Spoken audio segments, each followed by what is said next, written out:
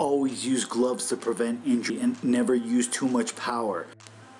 When striking the Makiwara, use proper form and a proper stance using proper techniques. Make sure to strike both sides of the Makiwara in order to train both sides of your body. A karate practitioner uses the Makiwara to condition parts of his hand and his body to make his body a perfect weapon for striking the opponent.